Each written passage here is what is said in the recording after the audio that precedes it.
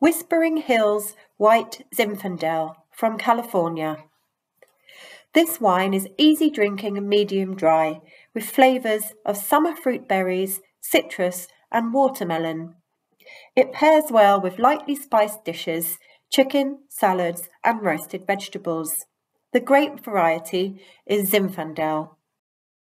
Did you know the Zinfandel grape variety is also known as Primitivo in Italy, and white Zinfandel isn't actually white, it's pink.